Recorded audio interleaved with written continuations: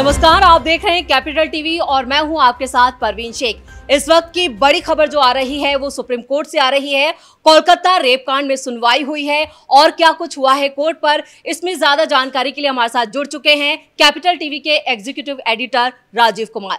आ, sir क्या कुछ हुआ है कोर्ट में? पहले वो बताइए। देखिए सुप्रीम कोर्ट में ममता बनर्जी ने जो अपने वकील भेजे हैं सबसे बड़े वकील हैं सुप्रीम कोर्ट के आजकल कपिल सिब्बल साहब और वो सुप्रीम कोर्ट बार एसोसिएशन के प्रेसिडेंट भी हैं।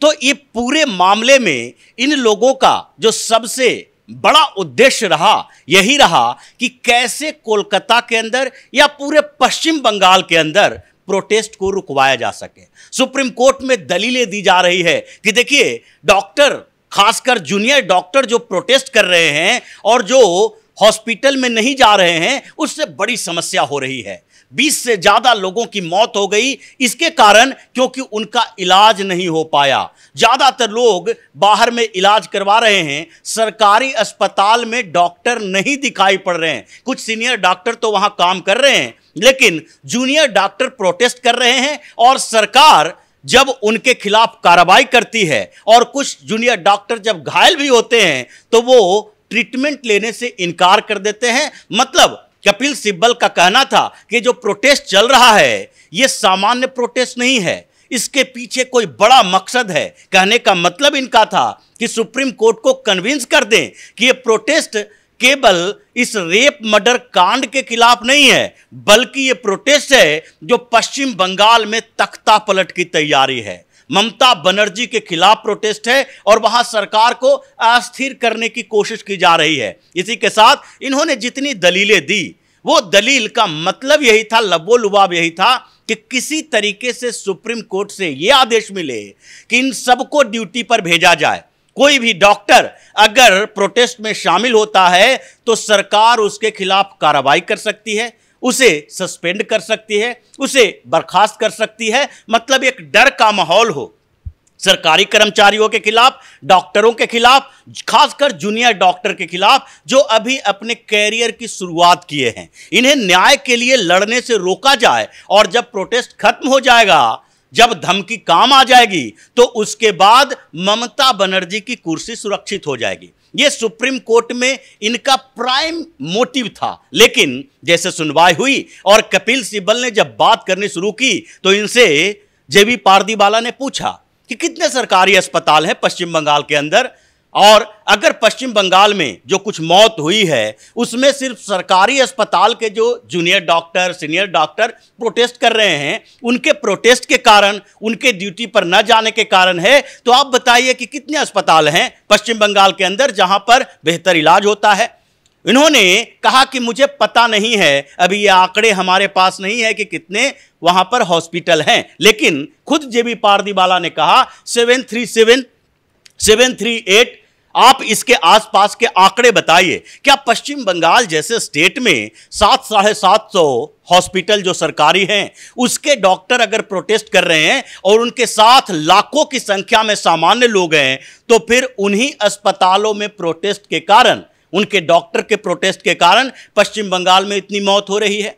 पहले क्या लापरवाही नहीं होती थी? जो प्राइवेट हॉस्पिटल है, उनके डॉक्टर काम नहीं कर रहे हैं, या फिर काम पर जाने के बाद भी क्या प्रोटेस्ट के लिए समय नहीं दिया जा सकता?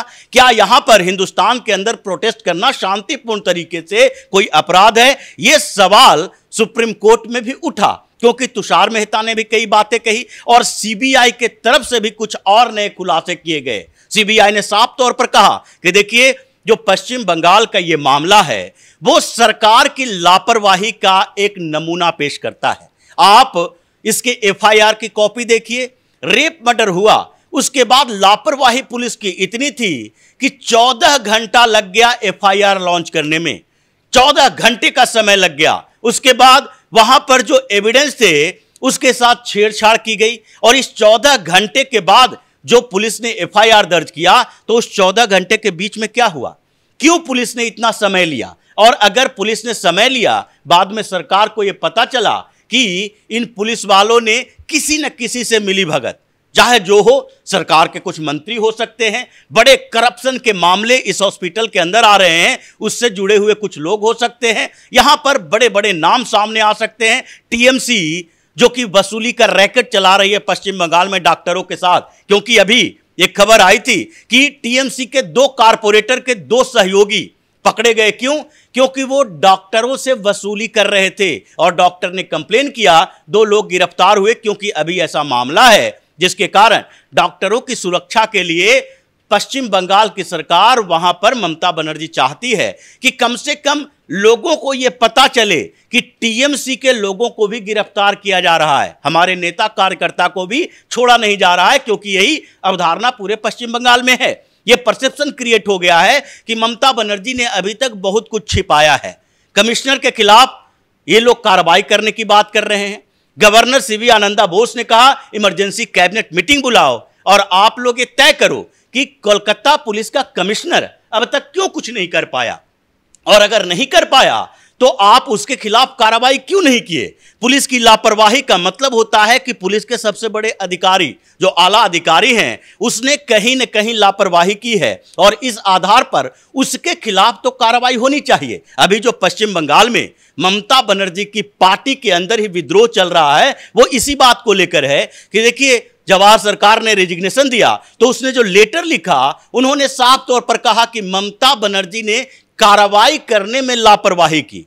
ऐसी घटना हुई है ये तो घटना कहीं भी हो सकती है। कुल मिलाकर आज सुप्रीम कोर्ट में कपिल सिब्बल की दलीलें पूरी तरह से कहें कि खारिज और जो सुप्रीम कोर्ट का जो तेवर है वो काफ़ी खामियाजा इसका भुगतना पड़ेगा ममता सरकार को। देखिए खामियाजा तो भुगतना पड़ेगा क्योंकि जस्टिस चंद्रचूड़ जो सीजेआई हैं और जस्टिस पारदीवाला और जस्टिस मनोज मिश्रा। इन तीनों की बेंच सुनवाई कर रही है। जस्टिस चंद्रचूड़ ने को यह कहा गया सीबीआई की तरफ़ से भी, और सेंट्रल गवर्नमेंट की तरफ़ से दो दिन पहले एक एफिडेविट दिया गया था। उसमें कहा गया था कि देखिए, ये जो कोलकाता में आप कहते हैं डॉक्टरों की सुरक्षा सीबीआई को वहाँ पर एविडेंस की सुरक्षा चाहिए तो इसके लिए सुप्रीम कोर्ट ने ही कहा था कि पारामिलिट्री फोर्सेस भेजो लेकिन जब हम सीआईएसएफ को भेजे वहाँ तो ममता बनर्जी की सरकार उसे हॉस्पिटल के इर्द गिर्द जाने नहीं दे रही है। और इसलिए सुप्रीम कोर्ट में सीजेआई चंद्रचूड़ ने सीधे तौर पर कहा कि सीआईएसएफ के जवान हॉस्पिटल के अंदर जाएँगे और इमरजेंसी वाले रूम के आसपास भी रहेंगे आईसीयू के बाहर भी रहेंगे। हर जगह सुरक्षा मुहैया कराना चाहिए, क्योंकि पश्चिम बंगाल की सरकार की पुलिस के ऊपर भरोसा लोगों का नहीं रहा है। जब तक पैरामिलिट्री फोर्सेस को वो नहीं देखते, तब तक उनको लगता है कि ये पश्चिम बंगाल की पुलिस है। ये कुछ भी कर सकती है, हमारे साथ दुर्व्यवहार भी कर सकती है। एक के बाद एक नए खुलासे हुए इस मामले में और हर खुलासा यह बताता रहा कि कैसे ममता बनर्जी ने इस पूरे मामले को शांत करने के लिए, इस पूरे मामले को ढपने के लिए तरह तरह की तरकीबें निकाली। ममता बनर्जी की सरकार ने सारे तरकीब अपना लिए कि किसी तरीके से इस पूरे मामले को कमज़ोर कर दिया जाए। लेकिन यह मामला बढ़ता गया और प्रोटेस्ट लगातार चल रहे हैं टीएमसी के अंदर इस बात की चर्चा हो रही है कि ममता बनर्जी ने फ्रस्ट्रेशन में ये सारे कदम उठाए या फिर सोची समझी तरीके से इन्होंने ये सोच लिया, पहले से ही मान लिया कि ये प्रोटेस्ट दो चार दिन चलेगा और दो चार दिन के बाद बंद हो जाएगा। हम अपने तरीके से वैसे ही काम करते रहेंगे, क्योंकि टीएमसी के अंदर जो सवाल उठ रहा है, अभी जो टीएमसी के सांसद, राज्यसभा सांसद जवाहर सरकार ने रिजिग्नेशन दिया, उन्होंने पार्थ चटर्जी का भी नाम लिया कि करप्शन इतना ज़्यादा टीएमसी के अंदर फैल गया है कि अब अच्छे लोगों के लिए यहाँ जगह नहीं है। जो सोच रहे हैं कि टीएमसी में रहकर हम बंगाल के लिए कुछ कर पाएँगे, ये संभव नहीं है। यानी कि ममता बनर्जी चारों तरफ़ से घिरी नज़र आ रही है। सुप्रीम कोर्ट में उनकी तरकीब यही रही कि कैसे भी सुप्रीम कोर्ट से एक आदेश आ जाए कि वहाँ पर डॉक्टरों का, जूनियर डॉक्टरों का काम पर वापस जाना और फिर प्रोटेस्ट को रुकवा दिया जाए। हालाँकि सुप्रीम कोर्ट में बात कही गई। सीजीआई चंद्रचूड़ ने भी कहा कि जूनियर डॉक्टर को भी काम पर वापस आना चाहिए। अगर काम पर वापस आते हैं तो सरकार कोई पिछले कामों के लिए, यानी कि इतने दिन तक वो जो काम पर वापस नहीं गए, वो हड़ताल करते रहे प्रोटेस्ट करते रहे, उसके लिए कार्रवाई नहीं करेगी। लेकिन आगे भी वो प्रोटेस्ट करते रहते हैं तो सरकार अपने तरीके से कार्रवाई कर सकती है। लेकिन यहाँ प्रोटेस्ट करना और काम पर वापस जाना दोनों में बड़ा अंतर है। अगर कोई काम पर वापस जाता है, आठ घंटे की ड्यूटी होती है, आठ घंटे की ड्यूटी के बाद जैसे रिक्लेम ऑफ़ नाइट किया गया रात में प्रदर्शन करना, ड्यूटी के बाद प्रदर्शन करना, और जूनियर डॉक्टर जो हड़ताल पर हैं, वो अपनी सुरक्षा को लेकर चिंतित हैं। इस बात के लिए सिर्फ़ नहीं कर रहे कि जो हो गया, उसमें न्याय कैसे मिलेगा। जो हो गया, उसके न्याय के लिए तो सीबीआई अपना पुरजोर कोशिश कर रही है नए नए सबूत इकट्ठा कर रही है, हर बार सुप्रीम कोर्ट में यह सबूत दे रही है और अगले ट्यूसडे तक फिर से स्टेटस रिपोर्ट देने के लिए सीबीआई को सुप्रीम कोर्ट ने कहा है कि अगले ट्यूसडे तक आप स्टेटस रिपोर्ट दीजिए एक सप्ताह के भीतर। और एक सप्ताह के भीतर कुछ नई चीज़ें जो सीबीआई के हाथ लगेगी, उसके बारे में वो बताएँगे। लेकिन अब इन लोगों को डर है कि हमें सुरक्षा कौन देगा? क्योंकि पश्चिम बंगाल की सरकार के ऊपर भरोसा नहीं है, ममता बनर्जी के ऊपर भरोसा नहीं है तो ये लोग मांग कर रहे हैं कि या तो सेंट्रल फोर्सेस हर हॉस्पिटल में तैनात हो, जिसके लिए केंद्र सरकार ने जो सीआईएसएफ के जवानों को भेजा, उस पर रोक लगाए हुए ममता बनर्जी जी से सुप्रीम कोर्ट ने सीधे तौर पर कहा कि आप इस पर रोक नहीं लगा सकती। आपको चाहिए कि हर जगह पर सुरक्षा की व्यवस्था की जाए, क्योंकि ये प्रोटेस्ट जो हो रहा है, ये सुरक्षा के मसले पर है कि भविष्य में ऐसी कोई घटना ना हो। और इसी बात को लेकर सुप्रीम कोर्ट में जो बहस हुई, उसमें सीधे तौर पर तीनों जजों ने ममता बनर्जी को कटघरे में खड़ा कर दिया है कि अब अगर आपको जनता का विश्वास नहीं है, अगर आपको वहाँ पर काम करने वाले इंप्लॉय का का विश्वास नहीं है, अगर आपके ऊपर वहाँ के कर्मचारियों का विश्वास नहीं है तो आप संकेत यही है कि कुर्सी छोड़कर बाहर चले आओ।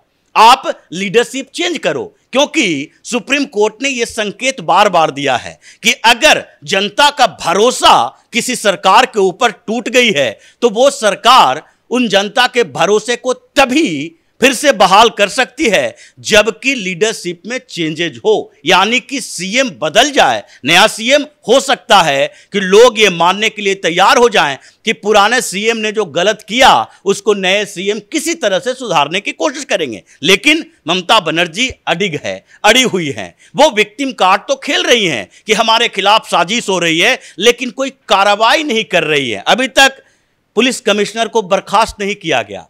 अभी तक जितने ईडी ने सबूत इकट्ठे किए, अब जो कि संदीप घोष के घर पर भी ईडी के छापेमारी हुई, नया बंगला फार्म हाउस जब्त हुआ है, उस मामले में भी ममता बनर्जी एक बार भी नहीं कह रही है कि हम सारे करप्ट अधिकारियों के खिलाफ कार्रवाई करेंगे।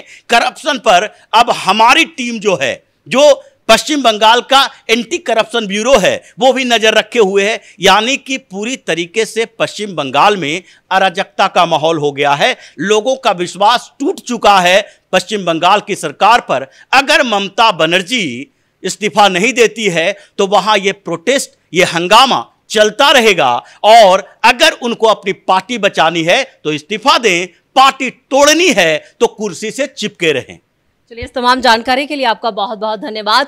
तो कोलकाता रेप कांड में डॉक्टर बिटिया की इंसाफ के लिए जो लड़ाई जारी है, वो आगे भी जारी रहेगी और यहाँ पर सुप्रीम कोर्ट से ममता सरकार को फ़िलहाल राहत मिलती नहीं दिख रही है। कैमरामैन भोला के साथ मैं परवीन शेख, कैपिटल टीवी।